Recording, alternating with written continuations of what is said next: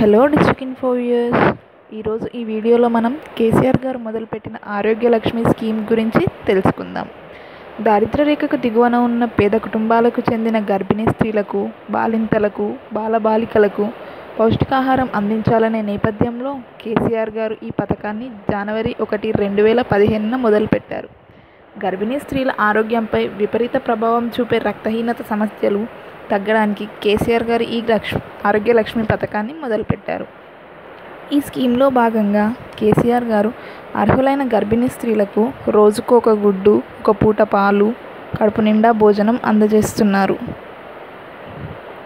కిషోర బాలికలకు పదహారు గుడ్లతో పాటు బియ్యం మంచి నూనె అయన్ ఫోలిక్ యాసిడ్ ట్యాబ్లెట్స్ అందుకు అందిస్తున్నారు. ఆరు నెలల నుంచి ఆరు సంవత్సరాల వయసున్న బాలబాలికలకు రెండున్నర కిలోల బాల అమృతం ప్రతి నెల ఆరు నెలల నుంచి మూడు సంవత్సరాల వయసున్న బాలబాలికలకు పదహారు గుడ్లు మరియు మూడు నుంచి ఆరు సంవత్సరాల వయసున్న బాలబాలికలకు ముప్పై గుడ్లు అందించాలని కేసీఆర్ స్కీమ్ని ప్రారంభించారు.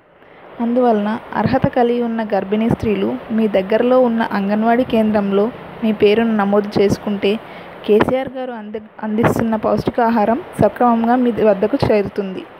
థ్యాంక్ యూ వ్యూయర్స్ ఈ వీడియో కనుక మీకు నచ్చినట్లయితే లైక్ చేయండి మరియు షేర్ చేయండి. మరిన్ని లేటెస్ట్ అప్డేట్స్ కోసం మా యూట్యూబ్ ఛానల్ని సబ్స్క్రైబ్ చేసుకోండి. Thank you